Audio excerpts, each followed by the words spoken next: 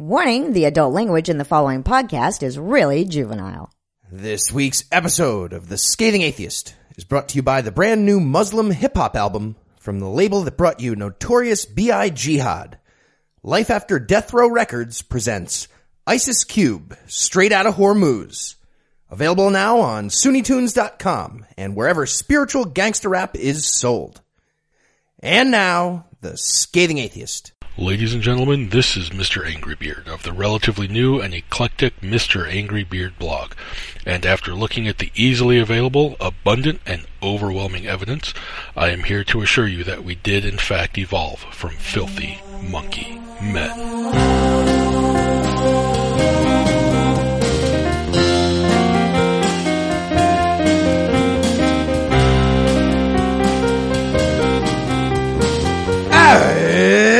Thursday. It's October 22nd. And despite my age, I've still got the steady stream of a 33 year old. I'm Noah Lugeons. I'm Heath Enwright, and from Confederate of Habeas Corpus, Valdosta, Georgia, this is the Scathing Atheist. On this week's episode, we'll stimulate your posterior medial frontal cortex with our sexual magnetism, Jim Bakker warns that Planned Parenthood is harvesting babies like in The Matrix. and we'll find a football coach who did something even more offensive than Indy's fake punt. But first, the diatribe.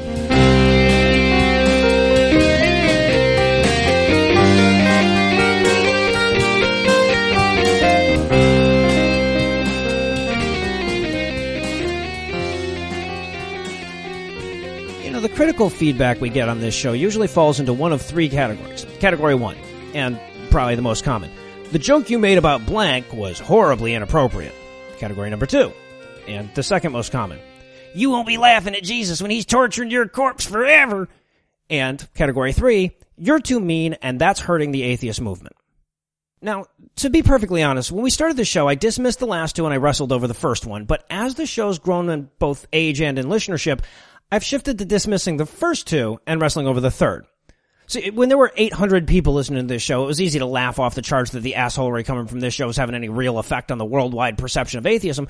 But as the show's grown, I have to at least consider the fact that for some people, this podcast is going to be their first experience with the atheist movement. I, you know, I mean, the title insulates us a little bit. We're pretty upfront about the not being nice thing, but I can't exactly hide behind the nobody's listening to this shit excuse anymore.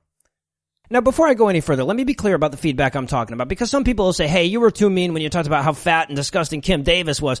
That stuff gets filed under category one. You know, I'll say whatever I want about that fat scut and I'll make no apologies for it. If I did not point out that she's a human version of the bus driver from South Park, that would be disingenuous. The, the, the you're too mean stuff that I'm talking about here is more like from the philosophical angle. It's not that people are saying we're assholes. They're saying that we're intellectually dishonest assholes. You know, they're saying, hey, you'd be a more effective communicator if you were at least willing to admit to some of the positive qualities of religion. In fact, if you listen to the most recent episode of our new show, God Awful Movies, you heard a form of this argument. And sorry for the shameless cross promotion, but if you haven't heard it, you really should. I think it might be our best episode to date. And a big reason for that was the hilarious guest that Eli invited on, a comedian by the name of Micah Sherman, who absolutely killed it. So at one point, he's trying to make the larger point about how, like, religious kids do some really creepy shit. But on his way to get to this point, he threw religion a bone that I took issue with on the air. He said something along the lines of, like, you know, I know that religion has positive effects on some people. I think it was something like, you know, I have born again friends who really turn their lives around because of their faith, but. Now, that's something I hear from a lot of atheists, to be honest. You know, the propitiative throwaway line about how religion is just fine for some people. Conciliatory admissions about how, you know, religion helped my cousin Dave get off of heroin, don't get me wrong, but, you know, so many atheists like to toss those out beforehand so as to not kick religion in the nuts too hard. You know, it's like the minimalist approach to the compliment sandwich. Makes you sound more reasonable, I guess, if you can show that you're not writing off all of religion, you're just pointing out some flaws. Now, I would imagine that a lot of atheists toss this shit out in conversation, even if they don't believe it. You know, like it, it, one of the things that makes admitting to one's atheism publicly so awkward is that there's no way of doing it without telling people around you that they're wrong. You know, so if you're trying to appease them with a soft-hearted endorsement, you know, that's eh, probably a good way to soften the blow, I guess. You know, don't get me wrong. I'm sure religion is fine for you or whatever. And if that's all it is, if it's just a rhetorical way to get your foot in the door to make a larger point, I guess I can like more or less overlook it. But the problem arises when people think that it's actually true. So, you know, let's examine that precept for a second. Let's look at cousin Dave. Now, inarguably, cousin Dave was a fuck up in every aspect. He was a hopeless heroin addict, whatever. And then Dave got saved and he turned his life around and he's, since then he's been working a steady job. He's off the needle. You know, it's been years. Okay. Now, if you're a critical thinker, and I think you are, you've already noticed the problem here. We're dealing with a sample size of one, right? So if we want to examine the success rate of religion in getting fucked up people to turn their lives around, we need a large sample size of fuck ups that got saved. And then we need to compare religion's success rate to the success rates of secular counseling and methadone treatments and family interventions, etc. Before we can make a claim as bold as religion turned Dave's life around, we would need to see these data. I mean, sure, whatever. Dave credits Jesus for turning his life around, but I've seen chemo patients credit Jesus for the remission of their cancer. Right? I, I, mean, if Dave took some homeopathic stop doing heroin pills right before the turnaround, you'd demand to see that kind of information before you were willing to endorse homeopathy, so why should religion be any different? Now, obviously, nobody's actually tracking these data, but I'm willing to wager your choice of my testicles that secular programs outperform religious ones when it comes to helping addicts. You know, I, I don't think I'm creeping too far out of the ledge when I say that the evidence-based thing that adjusts itself based on success and failure is going to generally outdo the mythology-based one that has the same answer for every fucking problem. But let's say I'm wrong, right? Let's say that the AA has some other reason for, you know, refusing to release any information about recidivism and success rates. Let's say that somebody, like, does all this research and they bring it back to me and they say, hey, no, look, finding Jesus has a significantly higher success rate for heroin addicts than methadone. Even in light of those data, I wouldn't concede the point. And here's why. Religion is bullshit. It's not true, right? So like, if I could stop you from doing heroin by convincing you that like, if you did, you'd be attacked by gremlins, would I be doing you a favor? You know, if instead of living your life plagued by addiction, you were living your life terrified of gremlins, is that a net positive? And by the way, are all lies okay if they offer a net positive? Try wandering down that ethical road for a while and see how long it takes you to reject it. Now, some people will dismiss my gremlins analogy as too harsh, but if anything, the problem is that it's not harsh enough. You know, to make it accurate, we have to also assume that there are multiple worldwide institutions that are trying to exploit the fear of gremlins to take your fucking money. We'd have to pretend that politicians all over the country are winning votes by promising to eradicate the gremlins. We'd have to assume that violent extremists are using fear of gremlins to recruit their suicide soldiers. Because look, religion doesn't exist in a vacuum. There's no way to give cousin Dave the addiction recovery portion of religion without also giving him the get and take it advantage by money grubbing pastors bit, or the learning to hate gay people part, or the reinforcing cultural misogyny part, or the us and them part, or the vote for me because I love Jesus more part. It's a package deal. And even if you could identify one part of the package that's good, it doesn't counterbalance the mountains of damaging bullshit on the other side of the scale. Now, I would argue, and in fact have argued, and in fact am arguing right now, that there is no good part. I've yet to see a single aspect of religion that couldn't be improved upon if the faith element was removed. I, I, do agree that joining new communities is helpful for drug addicts, but I think a new community that doesn't demand fealty to a magical immortal carpenter is at the very least equally effective. It's not that I'm too stubborn to admit the religion has benefits for some people. Fuck, having diphtheria has some benefits. Probably helps you lose weight or something. But that doesn't put me under any prerogative to start my conversation about it by saying, hey, don't get me wrong, diphtheria is right for some people. The problem is that I'm making no effort to carve out excuses for the religious people around me. So if you want to call me an asshole, that's fine. I call myself an asshole, but I'm only an asshole because social convention would have me be a liar. And I'd rather be an asshole. They're talking about your Jesus. We interrupt this broadcast to bring you a special news bulletin. Joining me for headlines tonight is the enemy of my enemy, Heath Enwright. Heath, are you ready to take religion from both ends at the same time? like a pair of Chinese finger cuffs. In our lead story tonight, the insane clown posse's theological relationship with magnetism became a bit more complicated last week when researchers from UCLA and the University of York published a study that suggested directing magnetic energy to certain parts of the brain can decrease a person's religiosity. This will come as no surprise to anybody who knows how brains work, as we've known for a long time that brain stimulation and brain damage can cause vast changes in a person's religiosity or any other part of their personality. But for people clinging to the no, there's a ghost driving my brain paradigm, this adds to the body of contrary evidence known collectively as human knowledge. Oh, good. Well, I'm sure we're going to be getting a uh, book from William Lane Craig really soon about how God designed a kill switch in case people start faithing wrong. and Shut down them Muslims. To that. Now, the culprit region here is the posterior medial frontal cortex, which, among other things, is the part of your brain that deals most directly with alertness and response to immediate threats. Th- This is the part of your brain that moves your head out of the way while the rest of your brain is still thinking, did that motherfucker just throw a shoe at me? President. they gathered up a bunch of religious subjects, crammed some hot, throbbing magnetic stimulation deep into their craniums, talked to them a bit about death, and then asked them to rate their belief in God, heaven, hell, demons, etc. And as predicted, the subjects with the depressed threat response were significantly less likely to profess religious beliefs. All right, well, I think it's about time for Obama to start sending out the drones with godless magnet lasers on them. Hells yeah. Chemtrails not working fast enough, clearly. Big problem. Obviously. Now, it's certainly worth noting that God belief wasn't the only thing they were testing here. While they had the subjects all transcranially stimulated, they also asked them about their feelings towards immigrants that criticized their country. And, quite predictably, the negative views towards immigrants decreased at about the same level as the religiosity. In other words, bigoted nationalism and religion are triggered by the same part of the brain, the part of hmm. the brain that circumvents higher order thinking to react instinctively when it feels threatened. And while this study is just a preliminary finding, it's part of a mountain of psychological and neurological data that increasingly show religion for what it is a thoughtless threat response. Defense mechanism. Good job. And in Wasted Shackles news tonight, GOP presidential candidate and accurate preview of Jonah Hill's future body over time, Mike Huckabee, appeared on Jan Mickelson's radio show last week to discuss, among other things, the criminal justice system. In particular, they addressed the concern that a progressive conspiracy to ignore the Bible, create a jail system, and outlaw human bondage seems to be the root of the problem. And in case that wasn't clear, they endorsed slavery. Yes, that's Yes, they did. Mm-hmm. What, what, what happened there. Maybe not for black people only, but, but definitely lots of them get enslaved in their scenario. Yeah, right, right. But I, I love that an earnest effort to give Huckabee the, the benefit of the doubt can be worded as, well, he doesn't want only black people to be slaves.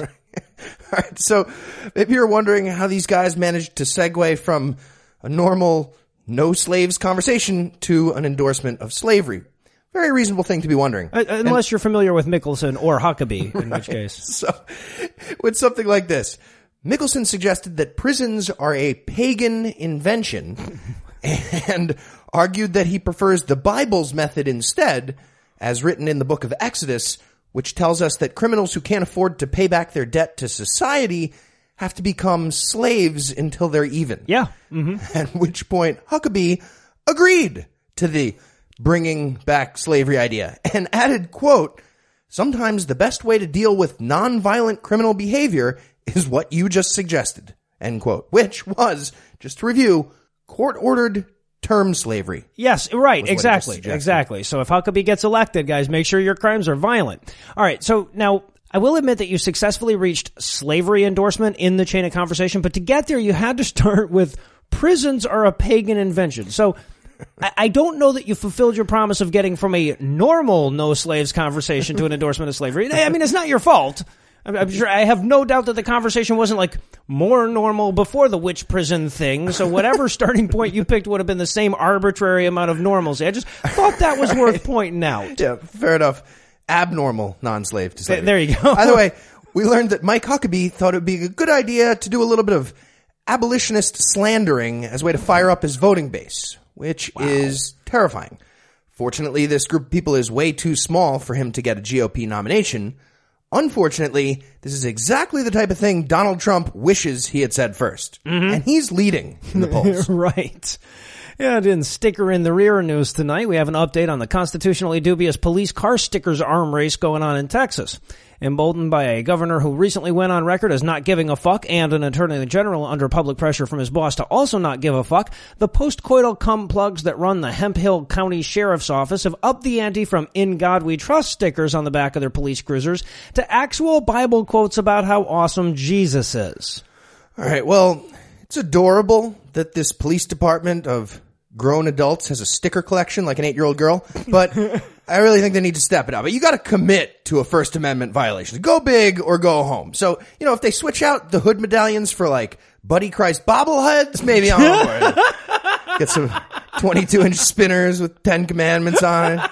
40 foot wooden crosses sticking out. Just make the arms race entertaining for us. Right, exactly. Now, it's worth noting that up to this point, the police departments with their In God We Trust stickers were hiding behind the excuse that that's the national motto. Of course, that's kind of unconstitutional, true, Also but it's true and probably enough to insulate them from legal recourse. I mean, you know, not being a dick with taxpayer money should be enough to motivate them, but they're Christians, so it isn't. But I am the good shepherd, John 10, 11, isn't the national fucking motto. This is a textbook example of a local government endorsing a religion. In fact, I bet it's literally that. I bet we could go find a legal textbook that uses this under the for example portion of the establishment clause question. that, that would be perfect to put there. Yeah, absolutely. Now, uh, I, I personally prefer the police motto in Baltimore, which is, uh, I believe, abandon all hope ye who enter here. It's a lot more effective. Jersey's still pissed that they didn't get it first. Camden tried, yeah. But the uh, the point is that until now, the story has largely played in the media as look at all these uppity atheists getting all bitchy about these police cars like they have like over the money and the Pledge of Allegiance. That narrative is absolutely invalidated by this latest move. You know, as soon as the police department in question got a whiff of support from the governor, they showed their true colors. They went from sort of general God type stuff to I love Jesus so much. You know, as soon as they had the sense they could get away with that. In other words, they did exactly what the atheists said they were going to do. It's like we're psychic or intellectually honest, even when our opinions are unpopular. It's definitely one of those two things. And from the start participating file tonight. Hating. The U.S. Department of Justice announced last week their plans to crack down on domestic terrorism in coordination with the Southern Poverty Law Center, using that group's information about violent hate groups. And although this sounds like a pretty good idea that would be really awkward to disagree with, the Family Research Council unabashedly disagrees with it. Color me shocked. And if I'm understanding them correctly, it's because laws against violent hate crimes are supposed to have RFRA exemptions for Christian people, I guess. And also somebody needs to tell those N-word lovers over the SPLC about the rules. Yeah, Tony Perkins, head of the Family Research Hate Group, called it another effort by the Obama Department of Justice to quote, marginalize and silence the Americans it disagrees with, end quote. And if that's true, save the fucking money, Obama. Tony Perkins can marginalize himself. Thank you very much. For example. And uh, here's the comment about preventing violent extremism that got a bunch of Christians really scared, which again is pretty damning right there. Right. Just that. Yes. So, according to Assistant Attorney General John P. Carlin, quote, the full spectrum of violent extremism shares a number of common elements, and our approach to disrupting them must recognize these connections, end quote, which is a really nice way of saying it's fucking religion. Every group Right. we uncover is full of religious fundamentalist lunatics. Uh, am I not being clear? So my job is to stop domestic terrorism. And Jesus makes my job really hard. Just, just stop believing in fake things and relax. Yeah, it'd be I'm, nice. I'm a good guy. I shouldn't have to repeat that. And in Park of the Covenant news tonight, the internal definition of Christian persecution expanded to the realm of municipal parking last week when leaders at the United House of Prayer in Washington DC claimed that a proposed bike lane in front of their church infringes on their religious freedom to park where those damn hippies would be cycling. Yes. They're arguing that taking up space where their parishioners might otherwise park would violate their religious freedom. And and while I'll certainly agree that religiosity is a handicap, I don't think it deserves all the perks. Maybe the, the perks for a mental disability. I mean, be okay with a government program that provides them like soft helmets and sippy cups, but yeah, parking? Right. Try that No, in New York, see what happens. That's fair though. Uh, so let me be perfectly clear what's happening here. Nobody thinks parking near the church counts as part of a religious doctrine, and in order to be a RFRA case, it would have to be. But at the same time, nobody in city government has the balls to stand up to the overreach of Christian churches, which is precisely what this church is counting on. And I think it's worth noting that unlike all the businesses and residences whose parking would be disrupted by the proposed bike lane, Are there other buildings there? the church isn't even paying the taxes that maintain the fucking roads that their customers are parking on. Yeah. Also, I don't recall anything in the Bible about like thou shalt park within a two block radius of your church. I mean, Right. Maybe it was right after the part that says you're not supposed to drive on God's day. I might have missed it. I might have missed it.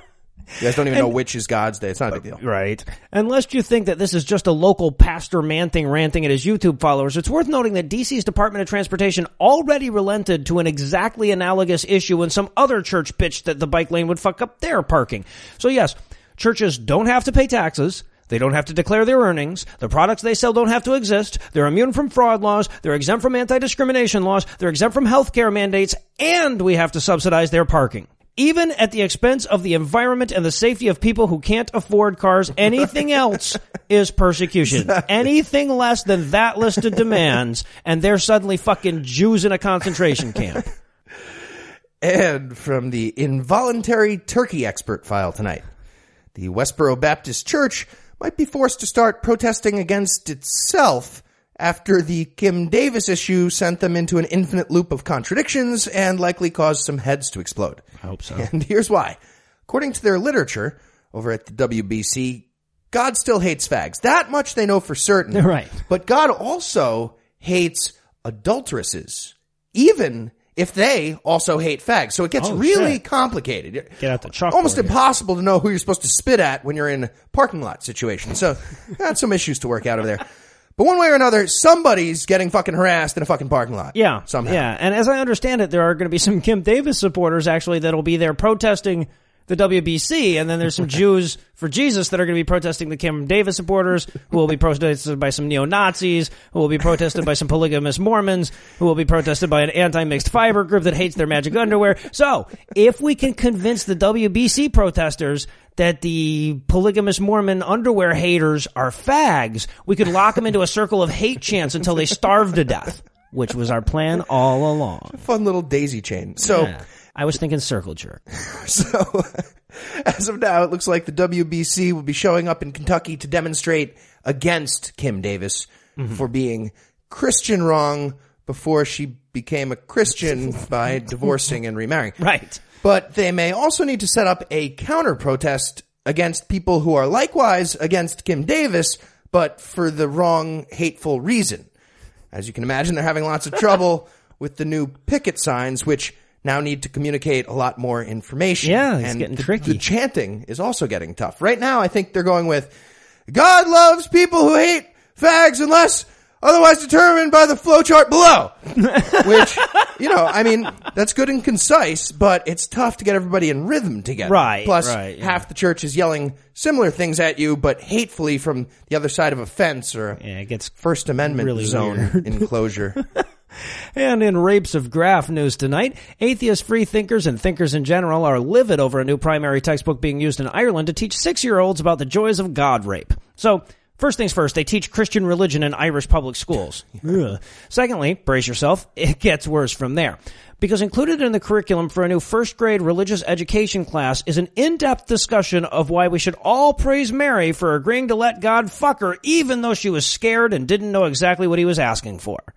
And that, boys and girls, is why Mariska Hargitay and the SVU team had to show up and take God down to the station for questioning. the end. jerk off in this cup, man. Uh, now, that's how the story should have gone, but according to the discussion portion of the teacher's guide for this lesson, quote, when the angel Gabriel came to Mary, she was afraid and confused. She did not understand what God was asking of her, yet Mary chose freely to respond to God's invitation by saying yes. Despite her uncertainty, she had enough trust in God to agree to his request. End quote. So, in summary, the Irish Catholic Church is teaching six year olds that if you trust somebody, you'll do whatever they want when they show up unexpectedly at your bed, even if you're afraid and confused. That would be the good Christian thing to do, boys and girls. Why didn't anything show up in the rape kit? Great question, Seamus. Great question. Mary appeared to still be a virgin because God was playing just the tip when he came early. But uh, this starts to get inappropriate for six year olds if I keep explaining, so I, I have to cut it off right there. Eventually, yeah.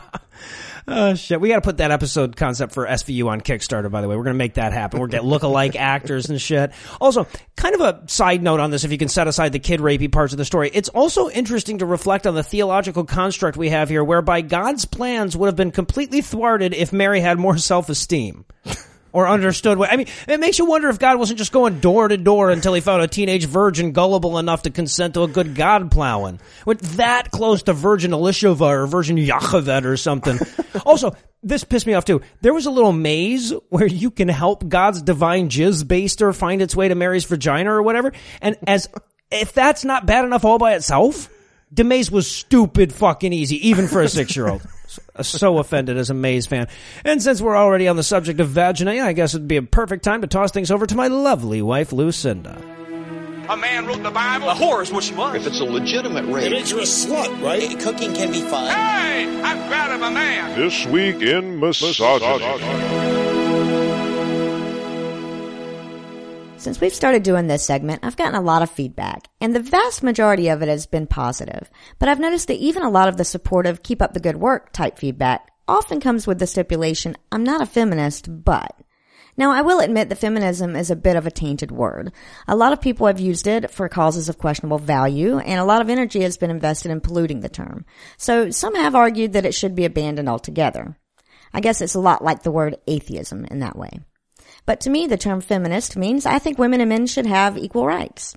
So whenever I read the I'm not a feminist, but thing, I at least hope me and the writer are using different definitions. So in an effort to better understand our listeners, I want to step outside of my usual position and discuss some of the bad things about feminism. For our first counterpoint, we'll turn to conservative columnist Diana West, who points out that too much feminism will inevitably lead to gang rape. In an interview with Frank Gaffney, she explained that the real cause of violence against women is that they're not treated like property enough. After all, people don't beat up their own property, do they? According to West, quote, if young women aren't prized and defended by a civilization, there is no civilization. And it's one of those things that we can say has come under attrition through feminism, end quote. This was all in response to a case in the UK where the authorities drug their feet on a group of men accused of multiple gang rapes. And as convoluted as her logic sounds at first blush, I checked and coming under attrition isn't an actual phrase. So I guess it can mean whatever the fuck she wants it to mean. But if you think gangs are the only things you have to worry about, think again. Because apparently feminist attitudes also lead to garden variety single assailant rapes, or their functional equivalent, which is, according to anti-abortion crusader Carol Everett, consensual premarital sex. Appearing on the Batshit Jesus show Wall Builders, Everett explained that the real goal of birth control is to encourage women to have sex with as many people as possible. And as if a healthy sex drive wasn't bad enough, she added that women who take birth control have, quote, gotten into much more perverted things now, end quote. And believe me, I'm as disappointed as you are that the quote ends there. I was dying to hear that old lady rattle off all the kinky shit she could think of. But alas, host Rick Green cut her off. When she got the speaking stick back, she explained that having sex with multiple partners is, quote, basically like rape, end quote. But don't worry, ladies. If you're being consensually raped, there's a solution. According to Everett, quote, it's a sick thing and the only thing that can help us recover is Jesus, end quote. And as if gang rape and regular rape weren't enough of a downside, it turns out that feminism can also lead to a faggy army. This one comes to us from perennial scathing atheist favorite, Tony Perkins, who decried what he saw as the emasculation of our military on his Washington Watch program last week. And the way he got there was spectacular. First, he had to establish that there was a biological difference between the sexes. Now, he could have gone with the presence or absence of a dick, but he chose an altogether baffling route instead.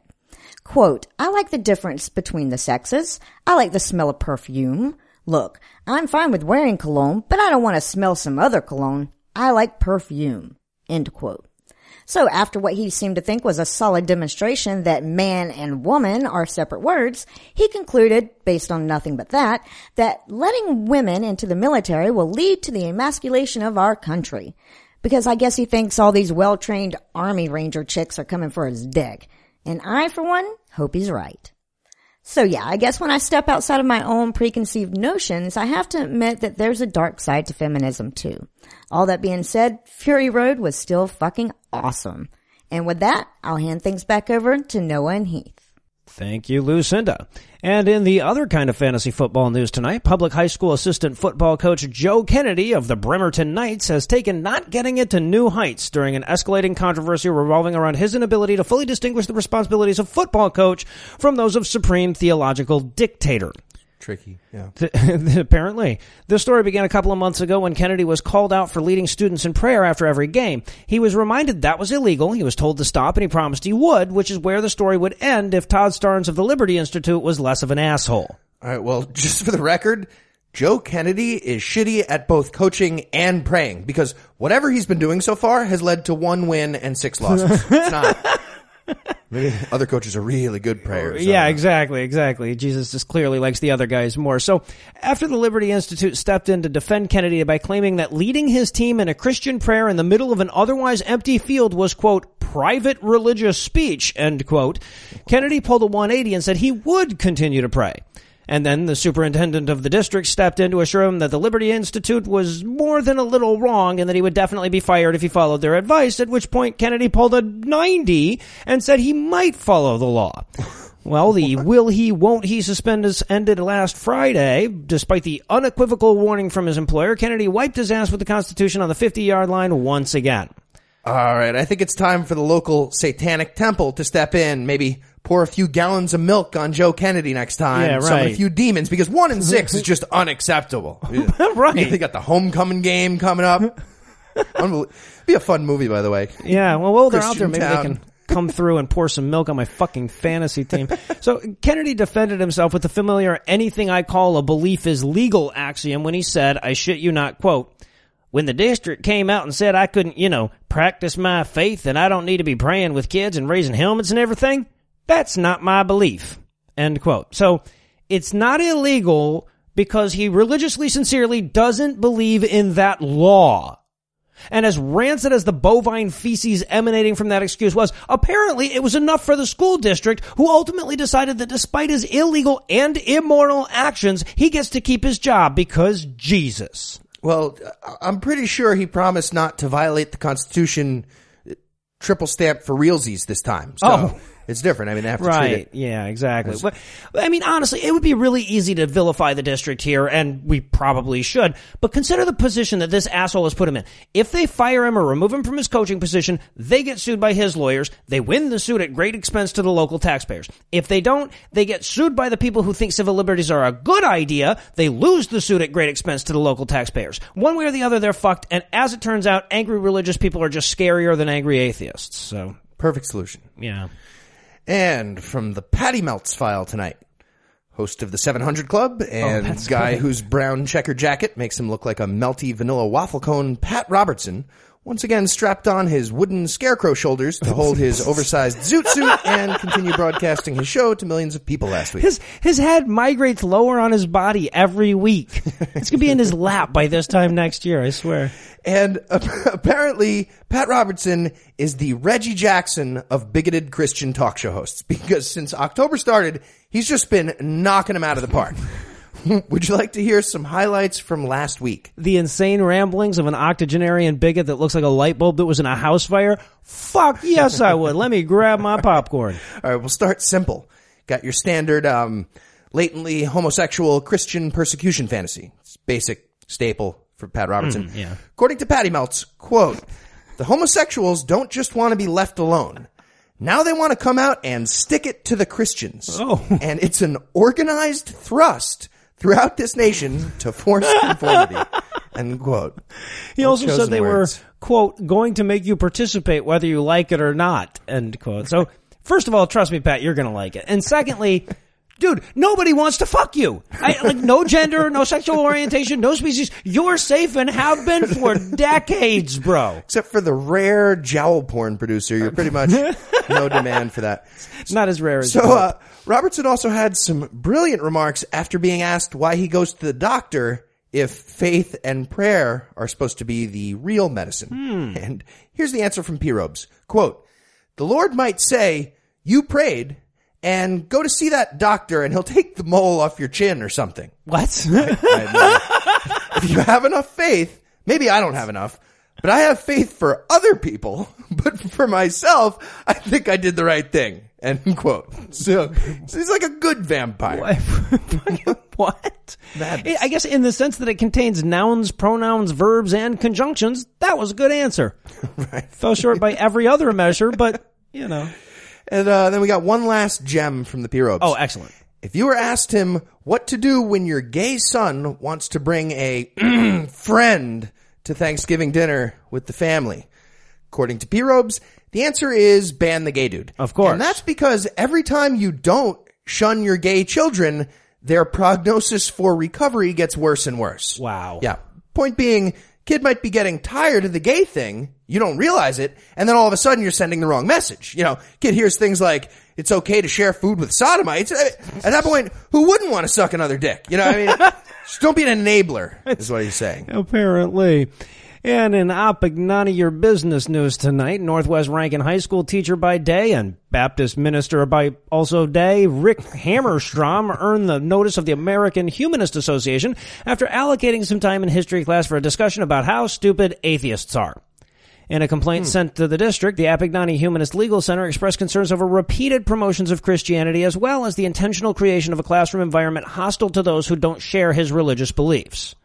Okay, but to be fair, before this guy even shows up for work, a history classroom is already a hostile environment for those who do share his Christian beliefs. so he's just trying to, you know, strike a compromise Right, right. with yes. reality. That's the problem. Fair. So the complaint cites the following as an example of Hammerstrom's disparaging remarks. Quote, Atheists are throwing a fit because they don't have their own day. They do have their own day. It's called April Fool's Day because you are a fool if you don't believe in God. Wow, that was Now, clever how he yeah, that- I mean, I, I'm, I'm a little more offended as a humorist than a humanist here, but even the tamest of, say, anti-Semitic jokes would probably be the grounds for immediate termination, or at least I would hope. Even if, even if you later argued that being frugal is a good thing and you were complimenting them. Now them Jews are saying they want their songs in the Christmas concert, but I, I think they got plenty of their own songs that they stole from black musicians. Am I right? Am I right? he gets it. Steinberg knows. he knows. And by the way, I should point out that this is not the first time that Northwest Rankin High has come up in this show. We actually talked about them all the way back in episode 11 when they held a mandatory assembly about how awesome Jesus was and then didn't have the sense to disguise that fact on their website and school handouts. That apparently resulted in a 2013 settlement, the conditions of which they've been caught violating at least twice since. Some tell me hmm. Hammerstrom's job isn't in jeopardy here. He'll be safe. And finally tonight, in one termination under God news, End Times pastor Jim Bakker took some time away from deciding which wine glass has iocane powder to continue broadcasting more TV advertisements for Doomsday Food Buckets, also known as the Jim Bakker Show. Right, right. Aside from the standard fraudulent sales pitch aimed at mentally incompetent apocalypse preppers, the topic from a recent episode was the concern that Planned Parenthood is not only running a slaughterhouse for fetuses, they're also hiding secret satanic temples that are summoning evil demons using ritual baby sacrifice. Of course they are, but it's okay because Dave doesn't do heroin anymore. This is what I'm talking about, people. Would you rather the dude spend his money on drugs or give it to this fucking hate monger? Case fucking closed. So, uh, quick review of some highlights from the discussion, which, by the way, included special guest Rick Wiles. Oh. Just to make sure they didn't forget to address the important parallels to the Holocaust. So, don't worry, that's coming. but first, we learned from co-host Lori Bakker that one out of five babies is aborted. Mm-hmm. She also said that half of African American babies are aborted. Half! And and that's not even counting the 10 to 20% of pregnancies that God murders himself. So it's even worse than that. And then Rick Wiles jumped in, and of course, no discussion of abortion is complete without mentioning the fact that Margaret Sanger is, quote, the founding mother of eugenics, who taught that blacks should be eliminated, end quote. He also added that people over at Planned Parenthood are, quote, natal Nazis, end quote. And there it is. We have a Godwin. I, I swear, Rick Wiles just pays a guy to follow him around with one fucking cue card that says Hitler! Big exclamation point. Swastika. So I'm fairly confident that abortion clinics aren't also housing underground baby blood parties, but I doubt they ever considered the idea. So just to be sure it's not for lack of brainstorming, we'll need 30 seconds on the clock. Ideas for the Satanic Temple slash Women's Health Center. Go. All right, but before the clock starts running, I want to point out that I definitely know that they they don't have the baby blood. I'm not going to say how I know that, but I definitely I. Okay, I checked. I checked. I've several. Um, okay, so well, since they're selling the tissue anyway, according to a video that is definitely a fucking fraud, you might as well start marketing them as uh, mephistomatic cells, right? Punch your name if you're selling to Satanists. What about neonatal Nazis? Experts in progenocide. Oh, nice, nice. Um, how about some pan unspermia? No? Family panning? That's worse, not better, isn't it? My bad. I withdraw. What about Zygote Man presents Broken Planned Parenthood? Go ahead, Clooney. Oh, and, and obviously they'd have to have the Morning Star After Pill, aka Plan Beelzebub. of course. what about um? What about Palpatine pregnancy centers? Stem cell your soul. nice topic. Well done. Uh, the In Uteroman. Prepare for a maternity in hell. Oh, that should be the name of our Christian movie spoof. Yeah, that'll do it. That'll do it. All right. What about a retail location like uh, Pentagram Neotic Saks, Fifth Avenue? Nice. Rosemary's Babies Are Us. There it is. Well done, sir. All right, and just so we're not accused of being unicultural, how about the Great Horned One Child policy?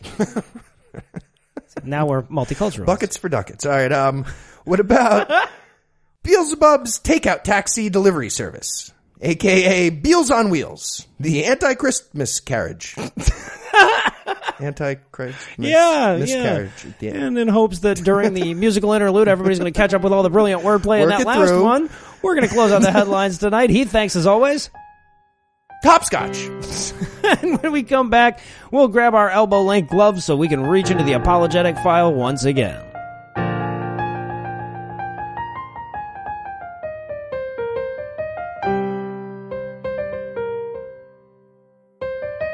It's time for the Atheist Calendar portion of the show. This is the monthly couple of minutes we set aside to talk up all the great atheist, secular, and skeptical events going on around the country and around the world. We'll start November's calendar off in vomitously pastel Orlando, Florida, where Free Flow is taking place from the 6th to the 9th. FFRF co-president Dan Barker will be their keynote. Matt Dillahunty will be there as well, as will Sarah Morehead, Seth Andrews, Andrew Seidel, and more. Plus, Orlando is warm. Unfortunately, I can't say the same for Springfield, Missouri, but it'll certainly be worth braving pre-winter for it between the 13th and the 15th, where you'll be rewarded with the country's largest free skeptical convention. They went with a quite ballsy move of not inviting back any of the speakers that have been there before, so if you get the feeling that a lot of these conventions are just the same people over and over, be sure to check their website. They're definitely making an effort to change it up. And if you're really far from Missouri that weekend, you might prefer the Hungarian Skeptics Conference taking place the same weekend in Hungary, but you probably won't. I just want to make Springfield seem more like driving distance for you. Also had a friend of the show ask that I toss a plug out to the Piedmont Humanists Feast of the Spaghetti Monster in Greenville, South Carolina, also on November 14th. No speaker list or anything, but it's only five bucks. You get to hang out with a bunch of other atheists and you get spaghetti. Seems like a pretty good deal. Also, as evidence that I don't just mention the non-US ones as jokes, I want to remind our Kiwi listeners that the New Zealand Skeptics Conference is coming up in Christchurch from November 20th to the 22nd. Never has a place name been more in need of a bunch of atheists. Anyway, they got a really fun theme this year about global human extinction. Bunch of scientists coming together to tell you how the world is ultimately doomed. Sounds like a blast. Bring a date. Fuck with apocalyptic abandon afterwards. And finally, I wanted to make everybody aware of an online convention that some friends are putting together for Saturday, November 7th. It's a collection of some really interesting and outspoken atheist voices on Facebook, several of whom I can vouch for as being truly awesome people. This is the first year. It's experimental and it seems pretty awesome, actually. If you want more information on this or any of the events discussed, you'll find more information on the show notes for this episode. And if you're aware of an event that you think our audience would like to know about, let me know. You'll find all the contact info on the contact page at scathingatheist.com.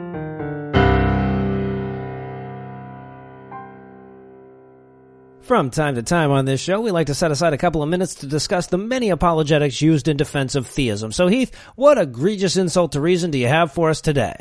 Today, in response to an email from Adam, we'll be discussing the claim that Christianity isn't a religion, it's a relationship. Okay, well, this sounds intriguing. So, where does that one come from? The recognition that atheists already won the is religion a good thing or a bad thing argument. Uh huh. It's the theological equivalent of all those rats meeting at the stern of the Titanic for a send-off party. Gotcha. All right, so how is this one uh, formally stated? It isn't, because people that present this argument don't do formal logicking.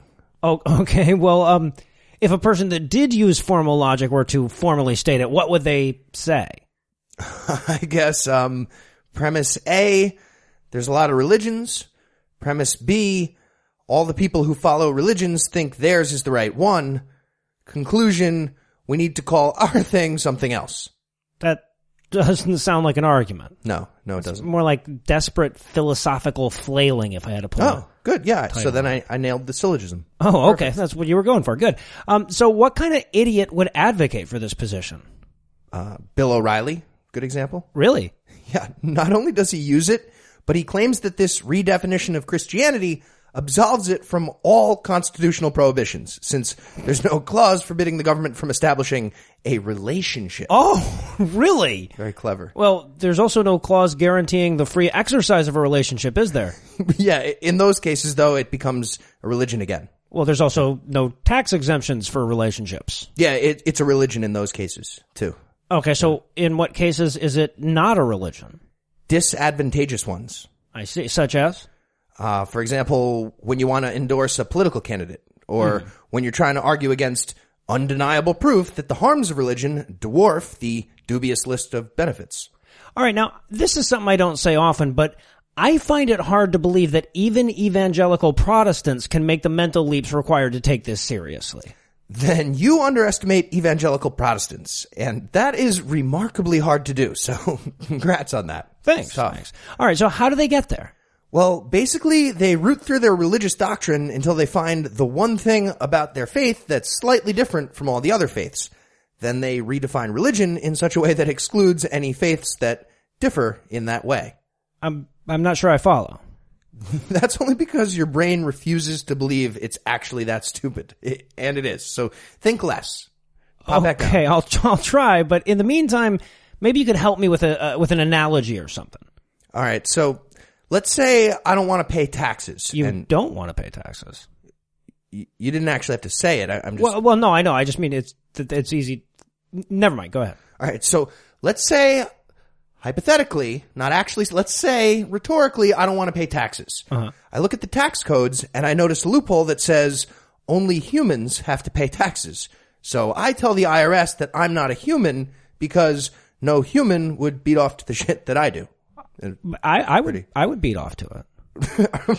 That's not the point. It's, Well, I I know, I know. it's an analogy. No, I know. I was just because you asked for an analogy. right. I, just, I was just saying that. I mean, I would beat off to some some pretty fucked up stuff. I was just making an example and went for masturbation joke at the end because that's like kind of our thing. I, I actually beat off to pretty normal stuff. I mean, you know, just your, your typical fair Asian lesbians, Mexicans with cleft palates, nothing kinky. It's just, I- was just using a concept you're more familiar with. with no, the- I I, know. I I. I get it. I just you know I, I I didn't want you to feel alone when you masturbated. Wait, you what? I, I'm I'm making it worse, not better. We'll we'll, get back to the apologetic thing if you don't mind. Gladly. So the claim here is that religions teach their adherents how to sanctify themselves before a god or a group of gods. But according to Christian theology, you're already sanctified. And do you mean and? That's that's the whole thing. You're the the, the whole Still- what? the whole argument. That's not an argument. Yes it is. No, it isn't. Yes it is. No, it isn't. An argument is a connected series of statements intended to establish a proposition. No it isn't. Yes, it is. No it isn't. Yes, it is. Look, almost all of Christian argumentation boils down to an attempt to play around with the edges of a word's definition.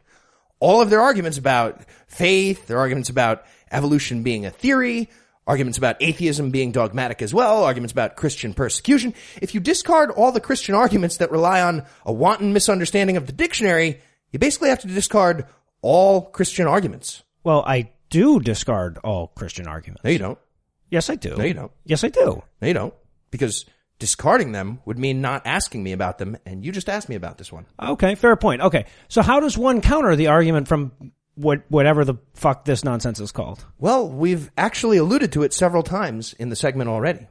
No, we haven't. Yes, we have. No, we haven't. Yes, we have. No, we. Uh, oh, are you suggesting that we just when they say Christianity isn't a religion, we just do the yes it is, no it isn't thing? No, no, no, no. I'm suggesting you just tell them to go fuck off and then watch some Monty Python. Oh, okay. All right. Yeah, good call.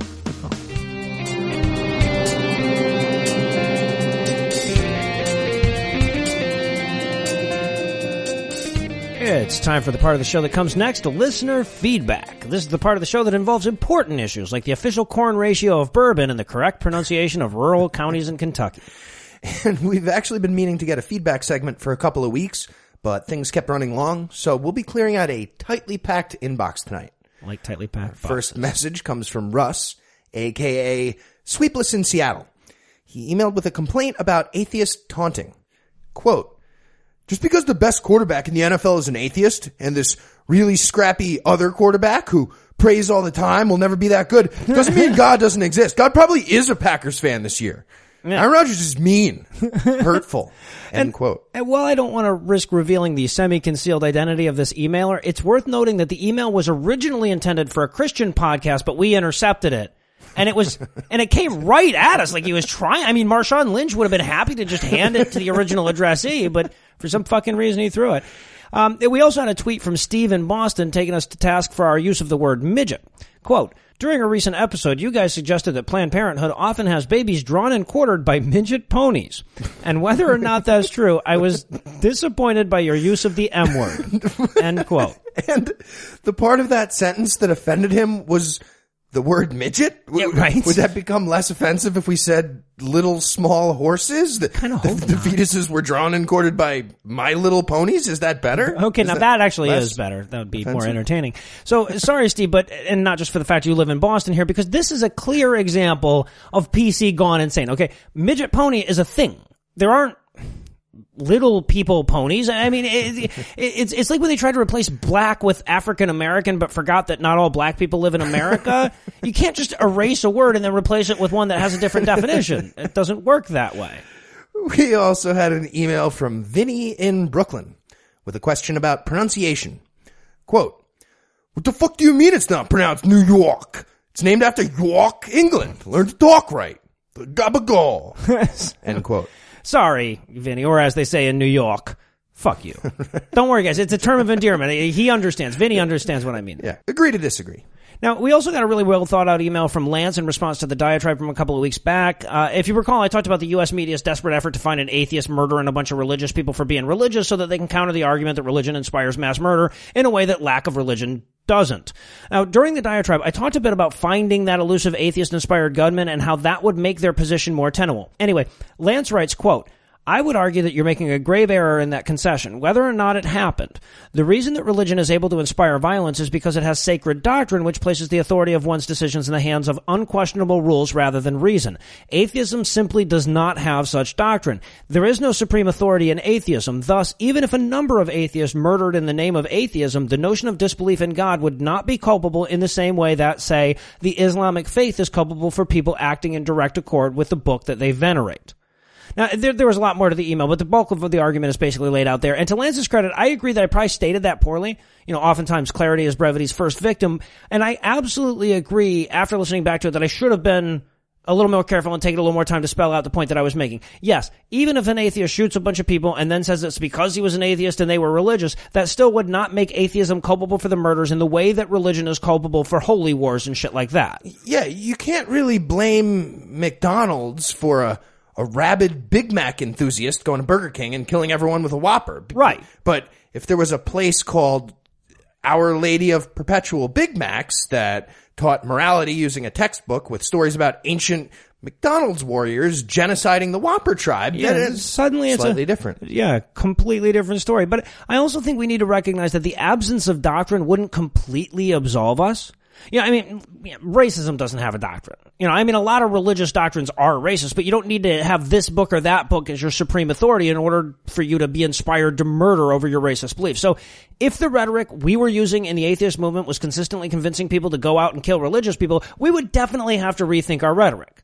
Now, I, I'm, it isn't, obviously. I, I mean, I want, I want to make it clear that we're way out in theoretical land here, but I think we do need to recognize that any group of people that is sh- defined by a shared value can devolve into violence, with or without doctrine. Now, the idea that atheism is going to turn violent is probably about the same that, like, bird watching is going to turn violent, so I don't think it's a problem we have to actually worry about, uh, but I don't know that the we don't have a doctrine argument is exactly bulletproof. Yeah, fair enough. But if there's a defining aspect of our doctrine, it's the fact that it's flexible and therefore not doctrine like. Right, yeah, exactly. I mean, if two old Jewish dudes start spitting fireballs at me, my Dawkins scale number starts dropping right, Right, away. yeah, exactly. Or even ask them why they just tried to kill me with fireballs. I'm down to a six there. So, Oh, by the way, the trick is to time your run so that you can hop over the fireballs and slide under them when they jump. Ah, all right. It's it's trickier when they're also throwing the hammers, but you'll get it. Couple of tries. We also got an email in response to last week's 30 seconds on the clock bit.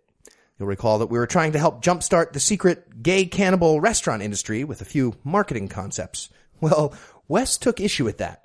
He writes, quote, as a representative of the homosexual community, I slash we would appreciate if you would stop informing the public of our cannibal restaurants. if word gets out to the general population, before you know it, a bunch of fucking hipsters with their stupid beards and odd shaped glasses start showing up and our good time will be ruined. There'll be a homosexual cannibal restaurant on every corner in Brooklyn. Ugh. We've already lost exclusive insider knowledge on the secret ingredient of Starbucks lattes. We can't take any more loss. Thank you, Wes. End quote. I, okay, Wes, I get where you're coming from, but a bunch of unwelcome hipsters at a cannibal restaurant isn't exactly a bad thing if you catch my meaning. So at the next the gays meeting, maybe you maybe you bring Sweeney Todd in to modify the booth seating, maybe you don't. Who knows? Who knows? I don't know. Excuse me, sir. Sir, did you just say it sounds better on vinyl? Did you just use that phrase? Please follow me. Please follow me into the back. We got some private seating back here for special guests. Yeah. You get a just lean way back. shave, lean way an ironic back. shave.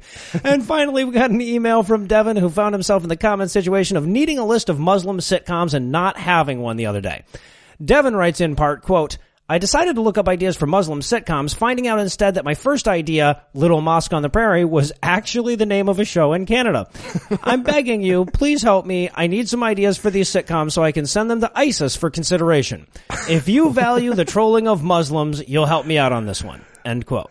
Well, Devin, um, we certainly don't condone trolling Muslims. Now, uh, that being said, we're obviously going to dance back. Obviously. And that brings us to this week's top 10 Islamic fundamentalist sitcoms just for Devin. All right, all right. Number 10.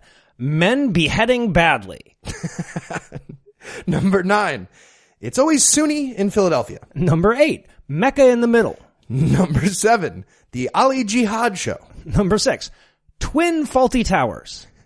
It's too soon. Oh, Too okay. soon. Number 5. Imama's Family. Number 4. Allah law. Number 3. Caliphate is enough. And number 2. Eight simple rules for stoning my teenage daughter. And at number 1, Je suis Charles in charge. See, it's not racist anymore because Heath made a joke about dead white people too. I also want to point out Devin wrote me back with what my personal favorite. Married two children. That was pretty good. Their prophet's a pedophile, right? Yeah, exactly. And that's all the feedback you get. If you want more, keep sending us those emails, tweets, and Facebook messages. You'll find all the contact info on the contact page at scathingatheist.com.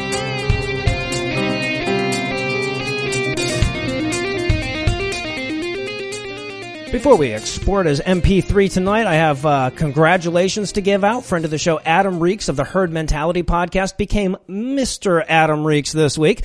So on behalf of the whole Scathing Atheist team, I want to send out congratulations to both him and his lovely bride. May your marriage bring you nothing but joy, great sex, and unfair tax benefits. I also want to let everybody know that we just moved past our most recent Patreon goal, which means that in the very near future, we're going to be upgrading our online presence. It means, among other things, that by this time next month, we're going to start uploading segments of the show to the site separately. So if you ever wanted to listen to just the babbles or just the skits or, or, or share just the diatribe, all of those options are going to be open to you in the very near future. Uh, and you have our wonderful Patreon donors to thank for all of that. I'll have more details in the coming weeks. Anyway, that's all the blasphemy we have for you today, but we'll be back in 10,022 minutes with more. If you can't wait that long, be sure to check us out on a new episode of God Awful Movies debuting Tuesday at 8 a.m. Eastern. We're going to be breaking down a no budget found footage Christian horror movie about a porno magazine summoning a demon to a church lock-in. Should be fun.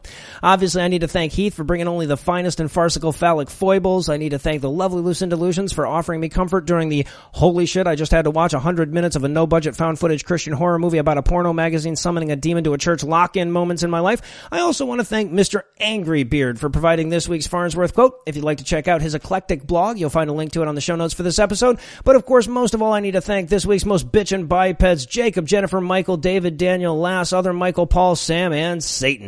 Jacob, Jennifer, and Michael, whose IQs have more digits than their phone numbers. David, Daniel, and Lass, who are so hot even a 9-11 truther would have to admit they can melt steel. Other Michael, Paul, and Sam, whose dicks are so big CERN is considering changing it to the pretty good size Hadron Collider. And Satan, who already had my soul, but seems to be willing to pay a buck an episode for it anyway. Good dude, that Satan.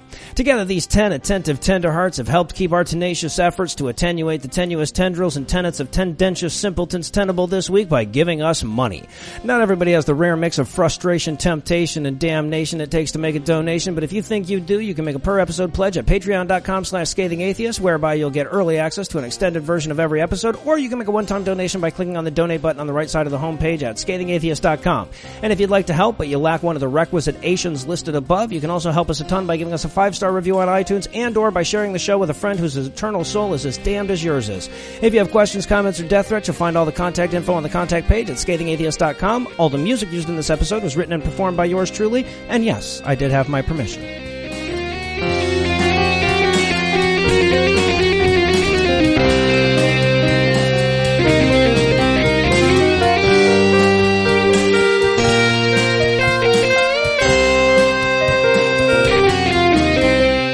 Scuss is not a word. Scuss should be. That should be a shortened. I would do it. Yeah, scuss. You know, in the twenties, ski was uh, uh, uh, uh, like a slang term for whiskey. White people were way better at slang back then. Damn it. Do handshakes and everything.